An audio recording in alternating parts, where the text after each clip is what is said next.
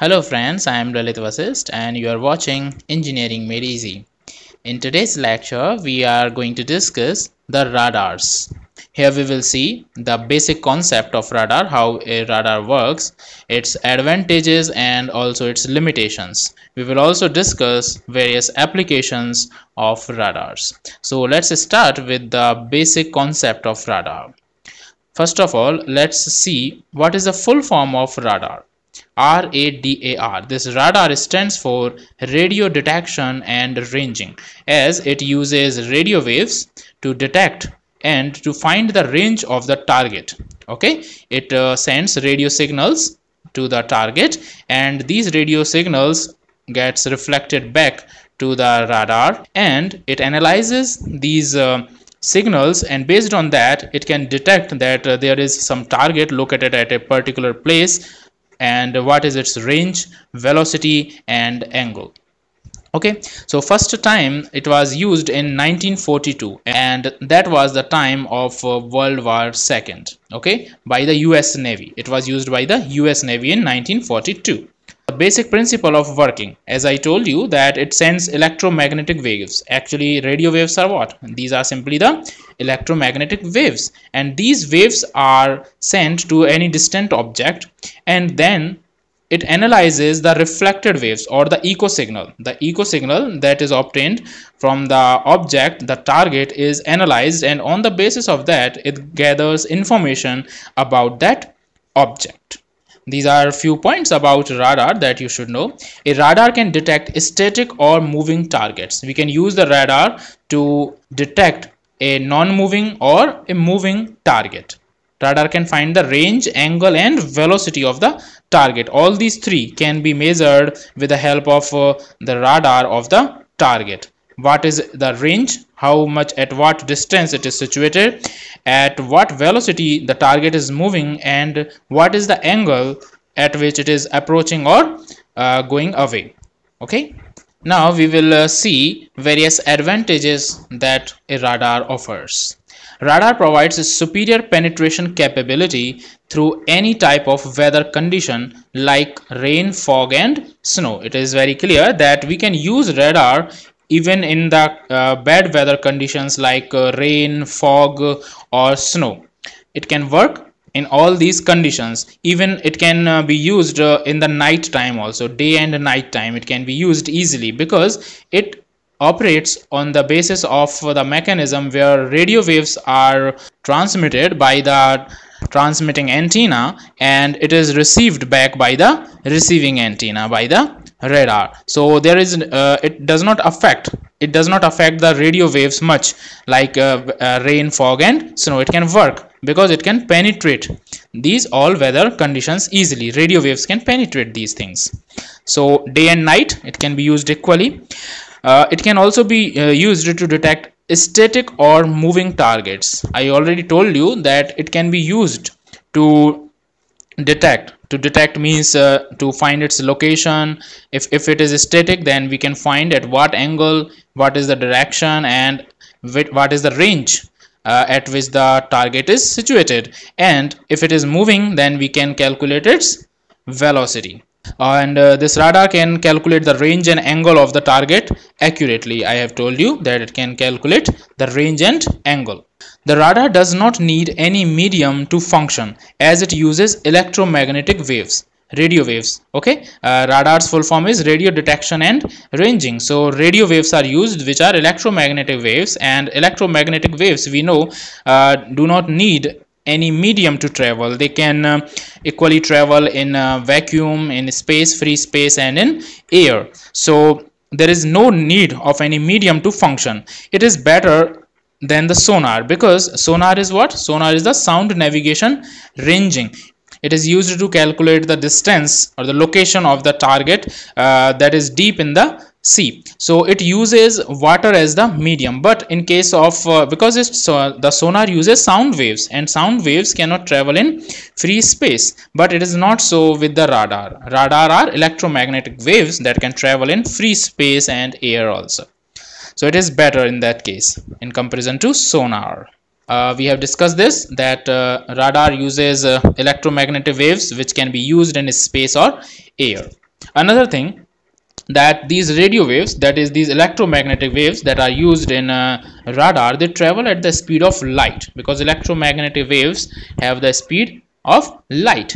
But in case of sonar that uses sound waves and the speed of sound is uh, much much smaller than the speed of light. So it is its working is much faster than the sonar.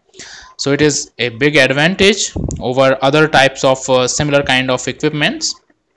Radar does not need target cooperation to emit any signals or emission. It means we there is a no requirement that the target that we want to detect should emit signals or it should send any kind of uh, signals or it, it should have any kind of emission so that it can detect that. If it is not emitting or uh, transmitting no signals then even in that case the target can be detected by the radar easily. So it is it is an advantage of it the radar can be used for quite long ranges. Okay? We can use radar for long ranges the targets located at large distances. Radar signals can target uh, several objects at the same time. This is uh, a big advantage of radar that uh, if multiple objects multiple targets are present then uh, it the signals sent by it can uh, gather information about all these objects all these target objects situated at some distance at the same time okay? Now uh, these were the advantages. Now we will discuss some limitations or the disadvantages you can say of the radar. What are these? First is radar cannot identify the color of the target okay? There is uh, no information that we can obtain about color uh, with the help of radar okay the radars cannot resolve in the details like human eye mainly at short distances. When it comes to radar then uh, it is easier to get information from the objects that are situated at large distances in comparison to the objects at smaller distances okay? So uh, in case of human eye we can uh, resolve the uh, objects in greater details if it is uh, very near to us. But in case of radar it is better it works uh, better if the object is situated at some distance. If it is too short then it becomes difficult to analyze that object with the help of radars. Radar is not able to penetrate the sea or you can say the deep sea to collect data about the target. We use sonar to locate the objects that are found in the sea but uh, with the help of radar it is not able actually the radar is not able to penetrate the deep levels of sea. We cannot analyze the data accurately with the help of radar. Now let's see some more uh, limitations. Uh, radio signals can be interrupted by other signals as they travel through air and space. As we know that uh, the radar transmits radio signals uh, to detect the objects and uh, these uh, travel in free space. They are not uh, they travel wirelessly. So there are lots of chances that it gets interrupted by other signals or uh, other radio signals other electromagnetic waves when they travel through the air or space. So interrupt interruption problem or the interference problem by other signals is a problem with the radar. Radar cannot be used beyond the ionosphere. We know it is a layer of the atmosphere found uh, around the earth ionosphere having ions okay? Because it, it, it cannot be used beyond the ionosphere as these signals are deflected back to the earth. If we want to uh, identify or if we want to detect any object that is uh, found uh, beyond the ionosphere or above the ionosphere in that case the radar cannot be used properly because these signals, the signals, the radio signals are deflected back to the earth. They do not reach to the ionospheres. Uh, they do not uh, cross the ionosphere. So in that case, it cannot be used. Analysis of data obtained from the radar needs specialized training as the data that is obtained from the radar is not uh, uh, very easy to understand. You cannot uh, understand it easily unless you are a trained person to do that job okay so that analysis that raw data that is not complete data. We need to analyze various uh, informations to extract various information from the raw data that is obtained. Uh, actually it is just the uh, data that is obtained from the uh, reflected waves or the echo signals. So you need an expertise to analyze that signal. So we need a skilled person to for the analysis of that data. The data uh, that is obtained is not complete as the reflected signal cannot report the complete details of the object. As i just told you that uh, the data that we uh, we analyze is just obtained from the echo signal and we know that echo signal has its own limitations. So complete details about the object or the target object cannot be obtained there are some limitations to it. Like we have discussed various things like color etc cannot be determined. What is inside that or only the outer surface can be analyzed. So there are various limitations uh, that we cannot uh, obtain the whole information about that object. So this is again a limitation or the disadvantage of using radar. Uh, now we will see some applications of radars where these radars find uh, their uses uh, we can classify these uh, broadly into two types civilian applications and military applications. So first uh, discuss the civilian applications. Uh, first civilian application is airborne radar for satellite surveillance. We can use these radars for the surveillance of satellites to keep an eye on the satellite where they are moving how they are moving. We can analyze their speeds and other things their location okay police radars. Police uh, police also can use radar radars uh, for police radars for directing and detecting speeding vehicles. If some speed uh, if some vehicle is uh, uh, going uh, over speed then we can detect it. Because as i told you that they can the radars are able to detect static and also the moving objects. And they can find or measure the velocity and the angle. So we can detect at what speed the object is moving. The you can say what at what speed that vehicle is moving. So so it can be used by the traffic police. Radar blind lander that helps in aircrafts to land under bad weather conditions or at night. Sometimes what happens that weather is not so good and the visibility is very poor. In that case uh, it becomes very difficult for the pilot to land safely in that case it becomes very difficult for the pilot to land the aircraft. In that case radar uh, can be used. Radar blind lander.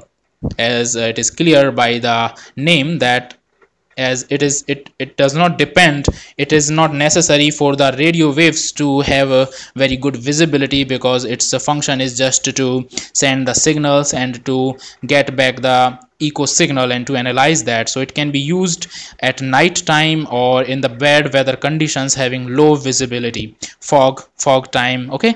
So in that case it can be used. Radar altimeter to calculate height of planes. Radar altimeter. Altimeter means an equipment to measure the height altitude. So radar altimeter to calculate the height of the planes. Clear? Okay? We can use these radars to uh, find how at what height the plane is moving radar can also be used for uh, help in navigation on ground or sea uh, even if the uh, poor visibility condition is there in that case it is not affected we can use it for safe navigation on the ground and sea on both mediums.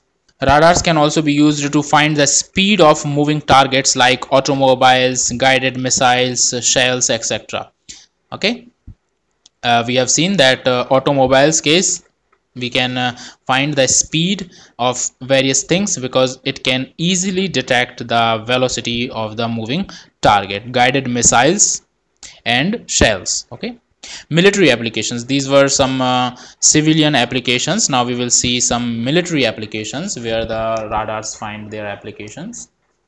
So what are these military applications uh, first is for directing guided missiles. Okay with the help of radars we can guide the missiles. It can be used for searching submarines and land masses. Okay submarines in the sea. Radars can be used to detect and warn for approaching enemy ships or aircrafts. If some enemy's uh, ship or aircraft is uh, moving towards us then we can easily detect it and warn our military uh, for detecting and ranging enemy targets even at night because it can work easily at night conditions and in also in bad weather conditions. We can easily detect and find at at what distance the enemy target is uh, located and how it is approaching at what velocity it is approaching and can take safety measures to shoot enemy ships and aircrafts. We can easily shoot ships and aircrafts of the enemy to drop bomb on aircrafts. It can be used to drop for dropping bombs on aircrafts ships or cities of the enemy cities at the night or in poor visibility. It can help how to drop uh, it can help in uh, dropping the bombs at the right place. So these were the basic concept applications military application and civilian applications along with the advantages and some limitations of radars that we discussed here. In the next video we will see the block diagram of the functioning of the radar how a uh, radar works what is its block diagram okay? It's functioning. So keep watching engineering made easy and don't miss the next video if you like this video. If you found it really useful then please click on the like button and share it with your friends. And please don't forget to subscribe my channel engineering made easy for more such videos. Thank you for watching. Have a nice day. Bye